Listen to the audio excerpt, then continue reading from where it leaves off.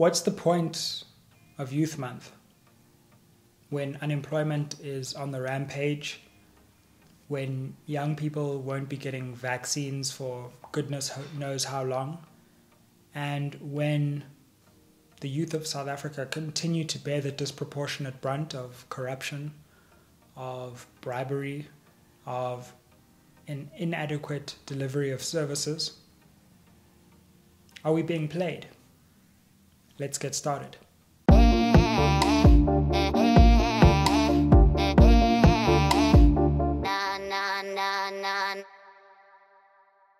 Spread the fire, fam. Welcome back to SMWX. Good to have you back if you're returning. If you're new around here, my name's Dr. Sizwe Mpofu Walsh. On this channel, the Sizwe Mpofu Walsh Experience, or SMWX, we explore South African politics through interviews and analysis. And today, I want to talk about Youth Month because I think it's high time that we addressed these commemorations that come around every so often and in my view are starting to become a way of pacifying people rather than a way of commemorating important events. So in this video, I want to speak about Youth Day.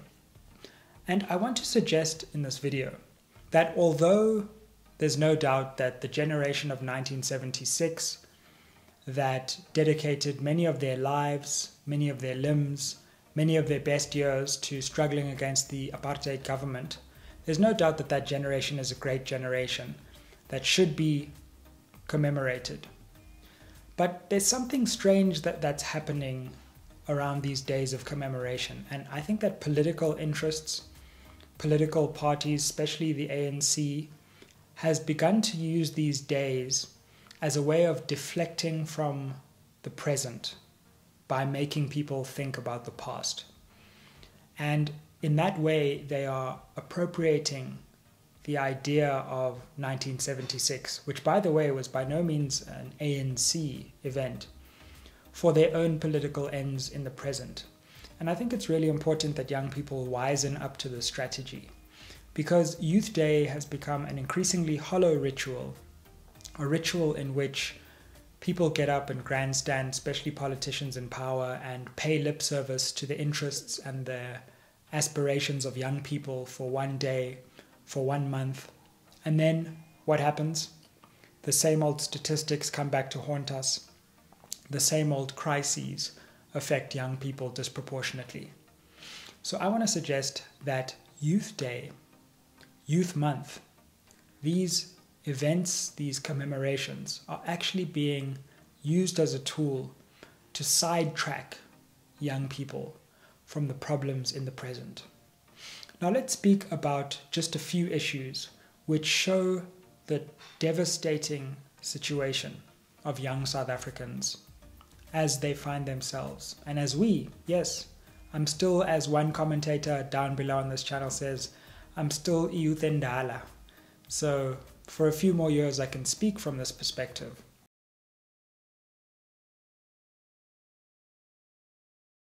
Let's look at youth unemployment. Recently, Stats SA released its quarterly labor force survey, which demonstrated that the crisis of unemployment hits young people the hardest.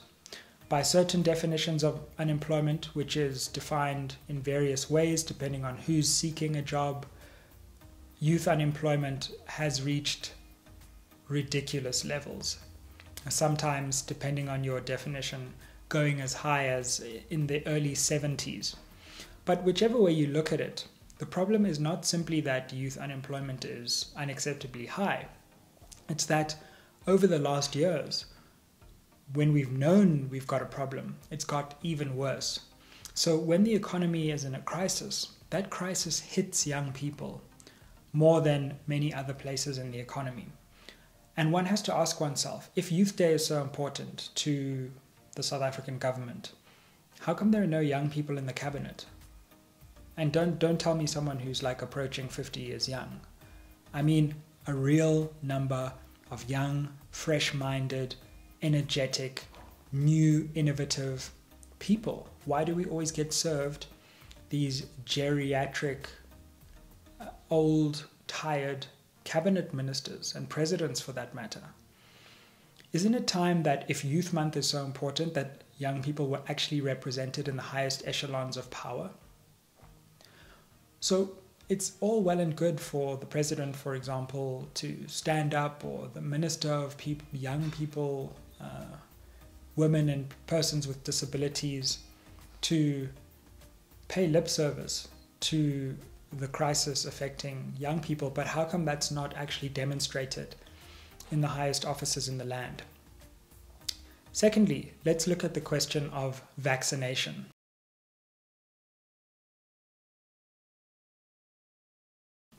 We all know that South Africa's vaccination strategy has left much to be desired.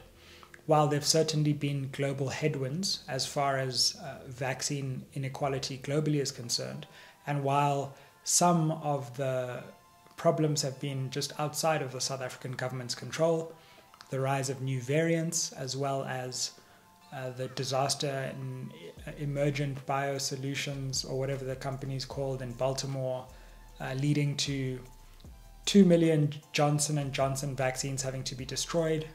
There was really very little that the South African government could have done about that. But those caveats aside, the communication of South Africa's vaccine strategy has been botched from the start.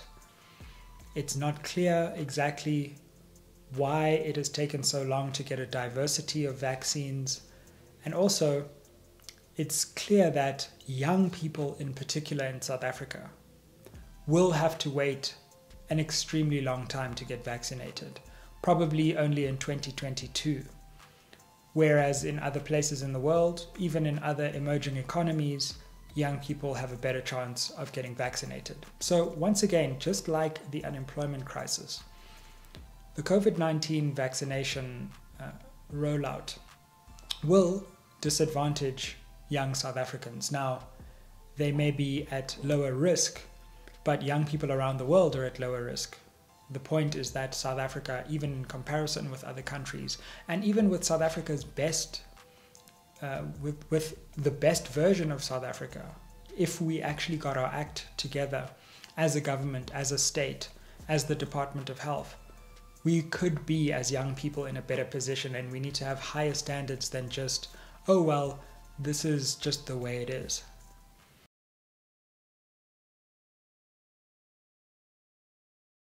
Let's talk about youth institutions in the country. The National Youth Development Agency hasn't had a board since 2019. This is the agency that's supposed to champion the interests of young people. And quite frankly, we'll see what happens with this new board.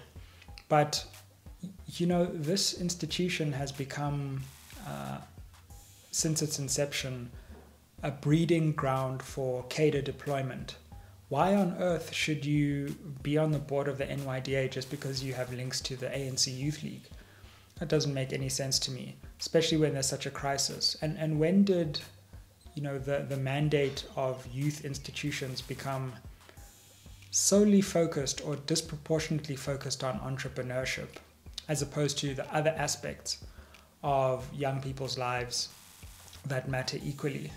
So these institutions, which I think the, the annual budget is something like close to half a billion of that particular institution, that have been set up to purportedly serve the interests of young people have also been subverted by political interests and have left young people over the last decade and more in the lurch, holding the bag for South Africa's major crises.